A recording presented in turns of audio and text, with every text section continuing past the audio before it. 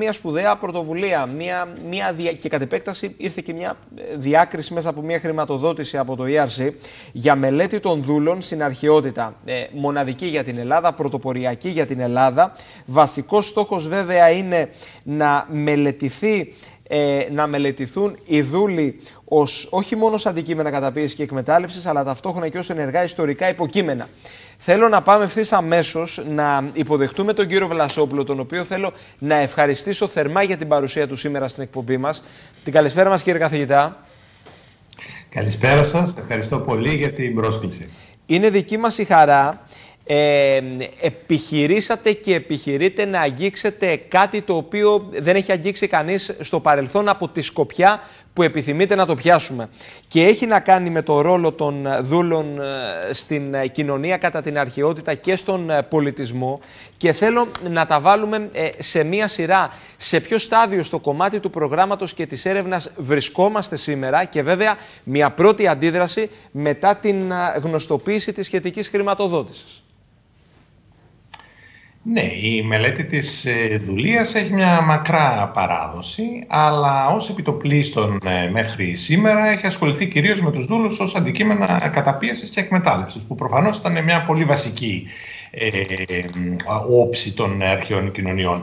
Αυτό που θέλουμε να κάνουμε στο συγκεκριμένο πρόγραμμα είναι να πατήσουμε σε αυτή την μακρά ερευνητική παράδοση και να την πάμε παρακάτω. Να δούμε δηλαδή το ρόλο των, ενεργό, τον ρόλο των δούλων ως ενεργών υποκειμένων στην ιστορική εξέλιξη των αρχαίων ε, κοινωνιών. Το πώς η αυτενέργεια των δούλων, με άλλα λόγια, ε, έπαιξε κομβικό ρόλο ε, στους μετασχηματισμούς ε, των οικονομικών, κοινωνικών, των αρχαίων κοινωνιών και πολιτισμών. Ακριβώς. Να το πω πολύ απλά, ε, οι περισσότεροι οι ακροατές μας, ε, ε, αν τους ρωτήσουμε ονόματα επιφανών πολιτικών, βασιλιάδων ή καλλιτεχνών, θα μπορούν να μας πούνε πολλά. Μπορούν να μας πούνε έστω και ένα όνομα ενός αρχαίου δούλου.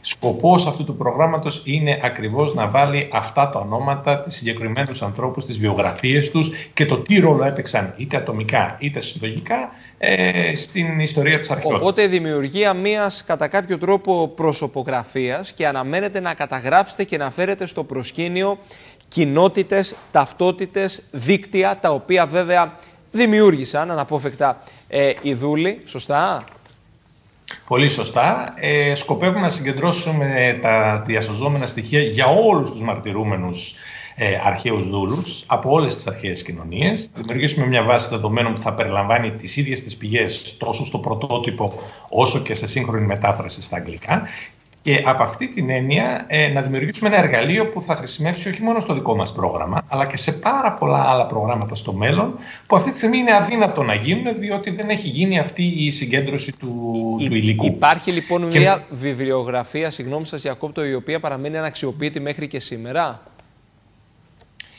Ε, ας πούμε ότι υπάρχει ένας τεράστιος όγκος υλικού που στις διάφορες πτυχές του είναι γνωστός στους επιμέρους ειδικού, αλλά άγνωστος προφανώς στο ευρύτερο κοινό, αλλά άγνωστος και στους ειδικού που δεν ασχολούνται με τις συγκεκριμένες πηγές ή με τη συγκεκριμένη περίοδο και ο πλούτος του οποίου δεν έχει ποτέ γίνει αντικείμενο ε, χρήσης και συστηματικής μελέτης ε, μέχρι σήμερα.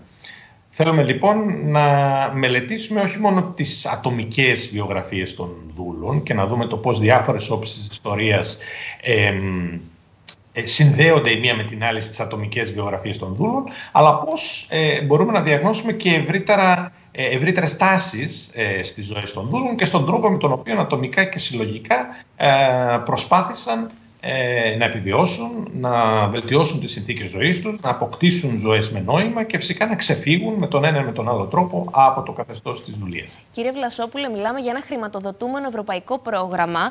Φαντάζομαι γύρω από εσάς ε, έχει συσταθεί μια ομάδα η οποία θα δουλέψει πάνω στο συγκεκριμένο θέμα. Από τις πιο ανταγωνιστικές χρηματοδοτήσεις στην Ευρώπη, αν δεν κάνω λάθος κύριε Βλασόπουλε. Είναι η συγκεκριμένη κατηγορία που απευθύνεται σε ερευνητές που έχουν ήδη ένα ε, σημαντικό έργο. Είναι από τις πιο δύσκολες και πιο ανταγωνιστικές. Προφανώς αυτά είναι πράγματα που δεν μπορεί να τα κάνει ένας άνθρωπος μόνος του.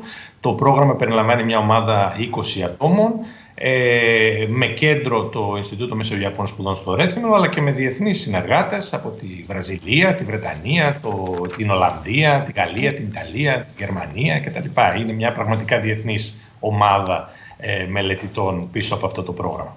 Ε, θα ήθελα να σας ρωτήσω αν υπάρχει έτσι ένα χρονοδιάγραμμα ε, για, την, για το ξεκίνημα ουσιαστικά της έρευνας και αν έχετε κάποιο ε, deadline ως προς την ολοκλήρωση του συγκεκριμένου εγχειρήματος, γιατί φαντάζομαι ότι και μεγάλη ομάδα είναι, αλλά θα ήθελα να σας ρωτήσω συμπληρωματικά σε αυτό και σε αυτό που ανέφερε και ο Νίκος, το πόσο σημαντικές είναι αυτές οι χρηματοδοτήσεις για την υλοποίηση τέτοιων προγραμμάτων, για την έρευνα γενικότερα και σε ε, αυτά τα επίπεδα.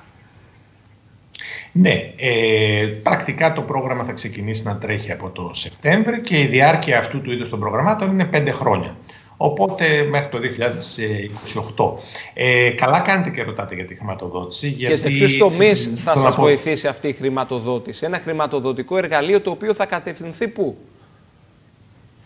Ε, καταρχάς θα χρηματοδοτήσει τους μισθούς της ομάδας αυτής των Είναι πολύ βασικό το κομμάτι, να δώσει υποτροφίες στους υποψήφιους διδάκτορες, να χρηματοδοτήσει τα εργαστήρια και τα συνέδρια που θα λάβουν χώρα, ε, να χρηματοδοτήσει τη δημοσίευση ε, των αποτελεσμάτων, των ε, βιβλίων και των άρθρων με μορφή open access ώστε να είναι προσβάσιμα ε, στους πάντες, να χρηματοδοτήσει την κατασκευή της ιστοσελίδας και της ψηφιακής βάσης δεδομένων, ε, την αγορά βιβλίων και άλλων ε, απαραίτητων υλικών. Ε, είναι πάρα πολλά τα έξοδα που έχει να χρηματοδοτήσει.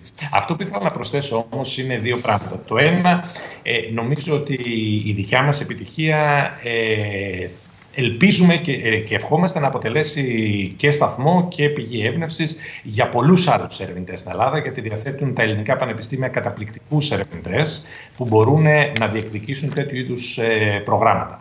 Ταυτόχρονα όμως, ε, τα ERC είναι κατασκευασμένα για να καλύψουν έναν απειροελάχιστο αριθμό προγραμμάτων δεν μπορούν να καλύψουν το σύνολο της έρευνας και εδώ παίζει τεράστιο ρόλο η κρατική ε, χρηματοδότηση των πανεπιστημίων και της έρευνας, που δυστυχώς την τελευταία δεκαετία, από την εποχή των μνημονίων και μετά, είναι πραγματικά τραγική.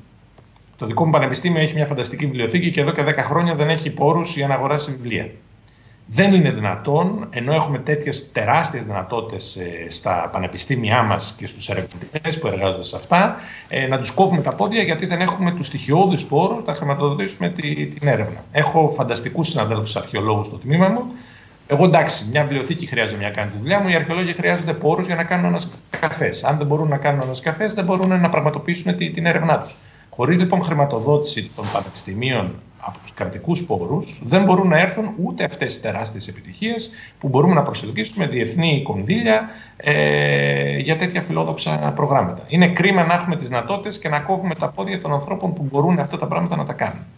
Μάλιστα και καμία σχέση το πώς αντιλαμβανόμαστε εδώ την έρευνα και τις προοπτικές που ανοίγουν μπροστά μας με το πώς αντιλαμβάνεται ε, κάποιο ε, πανεπιστήμιο και κρατικός φορέας του εξωτερικού βέβαια. Κοιτάξτε, αντίστοιχα, προγράμματα, προ, ε, αντίστοιχα προβλήματα υπάρχουν και στις άλλες ε, χώρες. Δυστυχώς εδώ είναι ακόμα χειρότερα τα πράγματα. Ε, επιπλέον ελπίζω, γιατί συνήθως τέτοιου είδους ερευνητικά προγράμματα έρχονται ε, για τις θεωρητικές επιστήμες.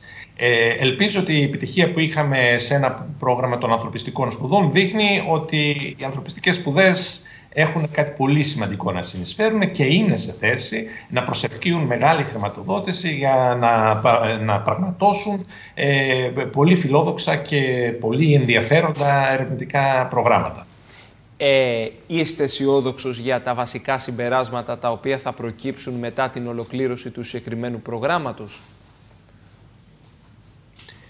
Είμαι αισιόδοξος ότι μπορούμε να κάνουμε δύο πράγματα. Το ένα είναι να κάνουμε μια ε, σημαντική συμβολή στη μελέτη ε, της αρχαίας ε, δουλείας ε, που αφενός θα φέρει ε, νέα συμπεράσματα και νέα εργαλεία αλλά αφετέρου θα δημιουργήσει ένα ε, ερευνητικό εργαλείο, την ψηφιακή μας προσωπογραφία, που θα επιτρέψει σε άλλους μελετητές να έρθουν και να κάνουν πολλά και πολύ διαφορετικά πράγματα από αυτά που θέλει να κάνει το δικό μας συγκεκριμένο πρόγραμμα.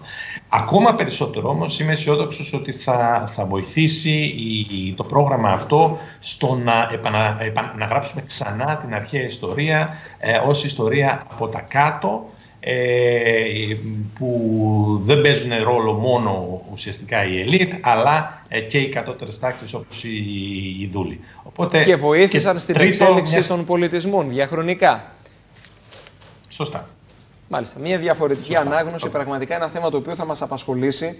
Με πολύ μεγάλη χαρά κύριε Βλασόπουλη να τα ξαναπούμε ε, και το επόμενο διάστημα. Ε, να σας ευχαριστήσω θερμά και θα το επαναλάβω, ήταν ιδιαίτερη τιμή. Αν μου επιτρέπετε μια τελευταία κουβέντα, ε, η, το πρόγραμμα αυτό φιλοξενείται από το Ινστιτούτο Μεσογειακών Σπουδών, το οποίο έχει καταφέρει την τελευταία πενταετία να έχει έξι ερευνητικά προγράμματα του ERC σε διαφορετικές βαθμίδες στις ανθρωπιστικές σπουδές. Ε, είναι πραγματικά ένα ίσως μοναδικό παγκόσμια επίτευγμα ε, και πατάμε ο ένας πάνω στις επιτυχίες του άλλου, χτίζουμε πάνω σε αυτές και ελπίζουμε ότι θα έχουμε ακόμα περισσότερες τέτοιες επιτυχίες ε, στο μέλλον. Να είστε καλά. Κύριε Βλασόπουλε, σας ευχαριστώ θερμά.